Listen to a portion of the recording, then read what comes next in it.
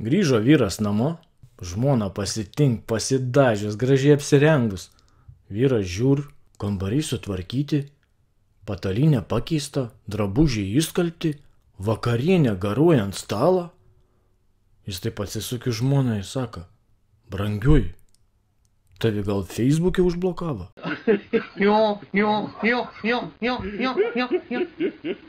Prenumeruok Anekdotai TV kanalą ir klausykis pačių naujausių bei jokingiausių anekdotų.